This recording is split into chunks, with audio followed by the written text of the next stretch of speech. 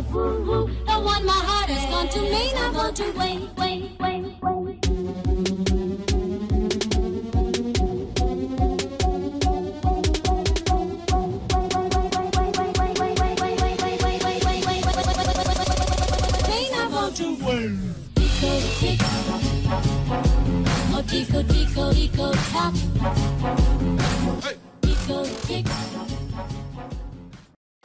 Ciao ragazzi, oggi sono qui con l'EZBook X4 e l'EZBook 3 Pro. Come potete notare l'EZBook X4 è cresciuto nelle dimensioni ma rimane comunque un prodotto slim e porta con sé lo stesso monitor con pannello OTN da 14 pollici questa volta piuttosto che 13.3 e praticamente ha le stesse dimensioni dell'EZBook 3 Pro L che sarebbe la versione quindi più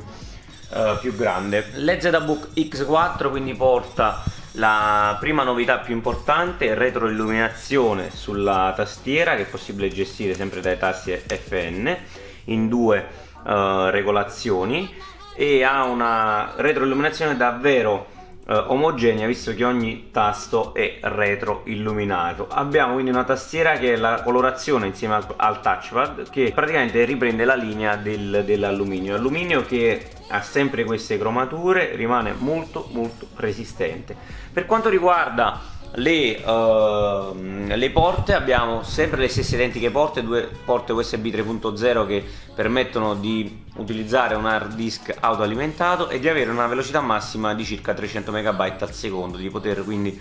utilizzare anche SSD esterni. Cambia soltanto una cosa,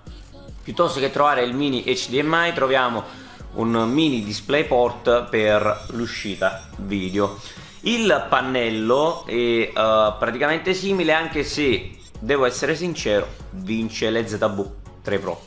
Come potete vedere quindi le differenze sono abbastanza nette e sono visibili anche da, da videocamera. E infatti è la, la prima cosa che mi è saltata all'occhio quando ho utilizzato questo X4 molto strano perché comunque il pannello dovrebbe essere molto molto simile e adotta la stessa tecnologia TN Uh, L'EZBook X4 porta delle grandi novità, tra cui la prima è appunto che abbiamo una nuova generazione di processori Gemini Lake, in questo caso l'N4100, che porta un incremento prestazionale, questo l'ho notato subito dai primi score Cinebench e uh, Jackbench, che portano il dispositivo a un livello più alto e permettono di utilizzarlo anche con programmi ancora um, che erano un po' uh, zoppicanti sul ZBook X3 Pro. Quindi ci permette addirittura come ho eseguito in un altro video di effettuare alcuni editing in, uh, in ambito audio con software uh, dedicati. E quindi andando a vedere i, i primi confronti con Cinebench R15 si allinea più ai processori i3 e i5 di fascia bassa ovviamente a risparmio energetico regalando quindi più del doppio de, de, del punteggio rispetto all'Apollo Lake. Apollo Lake che comunque si difende bene perché nell'utilizzo di tutti i giorni molte volte la differenza neanche si, si, nota nelle aperture delle applicazioni o nell'utilizzo appunto del browser. C'è una renderizzazione anche per quanto riguarda la grafica molto più veloce ovviamente sul nuovo X4 che porta con sé un processore grafico a 18 unità e ehm, denominato Ultra HD 600 piuttosto che l'HD 500 che troviamo sul 3 Pro. La RAM che questa volta si abbassa a 4 GB però non ha dato problemi nel mio utilizzo ma è espandibile fino a 8 rispetto ai 6 fissi dell'EZBook X3 Pro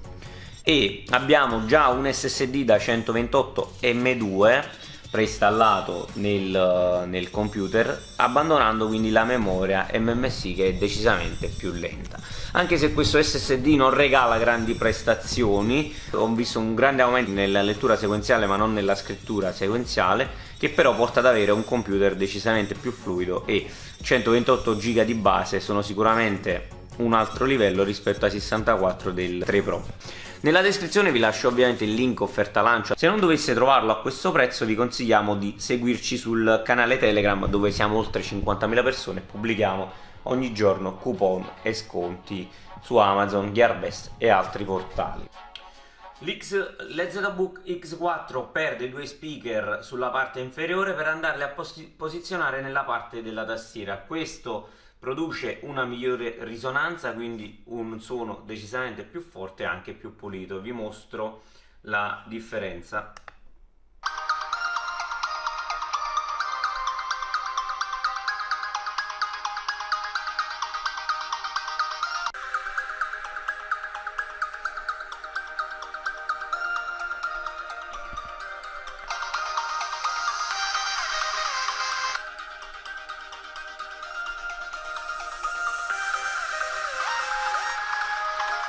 Quanto riguarda l'autonomia la, è pressoché identica, quindi riusciamo ad avere quelle buone 6-7 ore che ci permettono di utilizzarlo anche all'università o fuori porta, di portarlo in viaggio, quindi di spendere poco e non avere la paura di, di portare con sé in viaggio un portatile da 1000 euro, ma anzi averne uno da 200-250 euro e utilizzarlo in vacanza anche per navigazione multimedialità. Vi ricordo che supportano tranquillamente i formati anche in 4K anche se non serve e uh, nessun tipo di, di, blocco anche per quanto riguarda lo streaming. Tutti e due hanno lo stesso uh, wifi dual band sempre marchiato Intel che ci permette di utilizzare e sfruttare anche la fibra quindi uh, di avere anche oltre i 100 megabit i 100 megabit al secondo di utilizzo per, per, questo portatile. Le prestazioni invece per quanto riguarda i giochi, vi ricordo che su ZBook 3 Pro vi dissi che è possibile far aggirare alcuni uh, giochi non troppo complicati uh, per la gestione della CPU e del reparto grafico e qualche free to play che possiamo trovare in rete.